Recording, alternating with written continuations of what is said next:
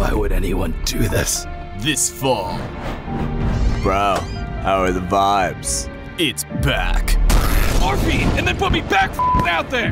Gridiron Heights, we mean. We're unsure about Baker. Oh, Oh gosh, I feel like my eyes have sinned.